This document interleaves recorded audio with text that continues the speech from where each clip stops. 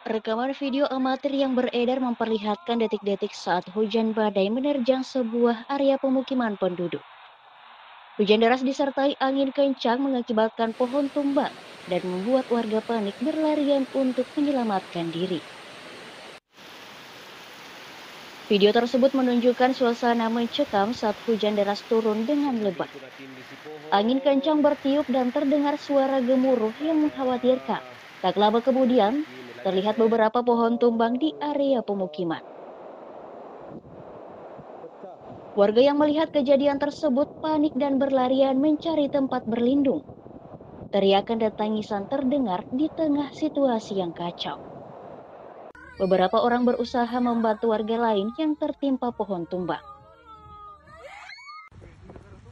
Angin kencang yang melanda telah mengakibatkan kerusakan, Sejumlah atap rumah warga dilaporkan terangkat dan tak sedikit kaca bangunan pecah akibat tertimpa ranting atau benda lain yang terbawa angin.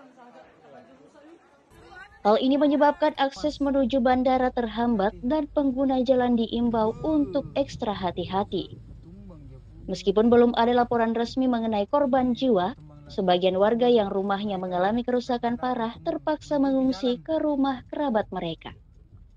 Terjadi Eh, di mana terjadi hujan deras yang disertai dengan angin kencang dan e, petir serta e, badai lanina yang menyebabkan kerusakan beberapa fasilitas umum dan rumah warga dan beberapa juga kita lihat e, pohon tumbang sempat mengenai ruas-ruas jalan dan beberapa kabel listrik juga sempat tertimpa sehingga terjadi pemadaman hingga saat ini.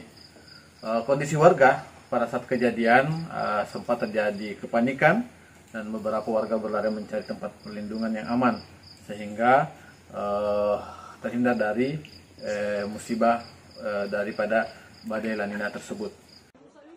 Saat ini PLN masih melakukan pemadaman listrik di beberapa titik. Hal ini terjadi setelah kabel listrik mengalami kerusakan dan terputus akibat tertimpa pohon tumbang. Jurnalis Koran Seruya mengabarkan.